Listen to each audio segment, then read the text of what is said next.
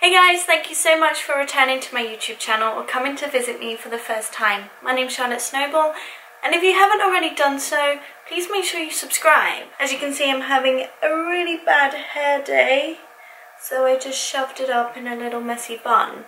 But let's begin. So today's video is about minimalism during the Christmas period.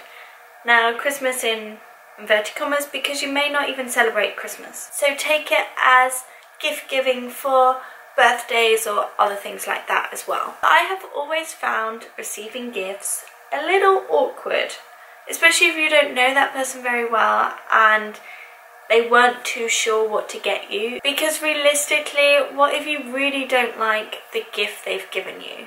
Now, I'm an actress and I'm pretty good at faking a lot of stuff, but this has never been one of the things I've been able to fake gift giving. So how do you deal with those people who are really persistent in buying you something? Or what do you get somebody else that's more thoughtful and more meaningful than you did last year? Try to avoid physical gifts, especially things that people don't even need or maybe even want. Like a new mug or bath stuff.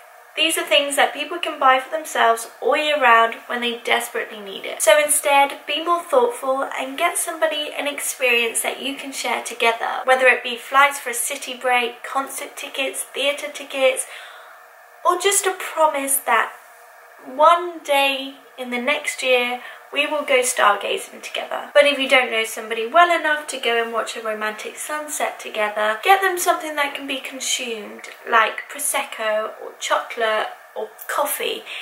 Everybody loves coffee. Also, avoid holiday sales like Black Friday. Not only are these days super dangerous and you may get stamped on or punched in the face, you don't actually need what they are selling and the deals aren't even that good. It's just a way to lure you into the door and spend your hard-earned cash on more rubbish you don't need because the next person has it and because that woman over there wants it, you can fight her for it and that means you achieved something by getting it. But really, you've probably got like £10 off. Even if they're telling you you've got £150 off, you don't. Another great gift is to gift your time. Last year on Christmas Day, a group of us went out in Barcelona and gave food, water, jumpers, clothing, blankets to the homeless. I think we managed to feed about 250 people, but it was the most rewarding Christmas gift I have ever received. It was such hard work and took so much planning,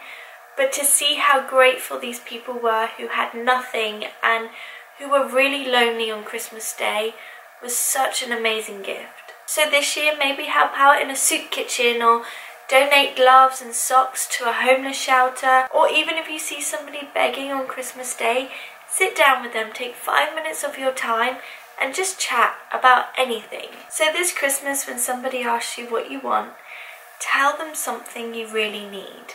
And the majority of the time, there's nothing you really need because we have everything. So ask them to donate money to a charity on your behalf. This will feel so much better than a £10 token for Boots. And remember that gift giving isn't a language of love. You don't show someone how much they mean to you by how big or shiny your gift is. We are a society of consumers of love. But the truth is, buying someone a new watch or a new pair of shoes is an evidence of commitment, trust, and being truly devoted to somebody is. So this Christmas, don't feel obliged to get somebody a materialistic thing.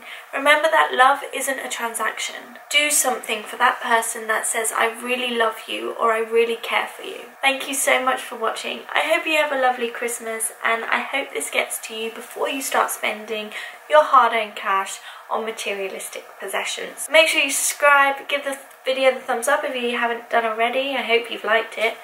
And Remember to be the change that you wish to see in the world.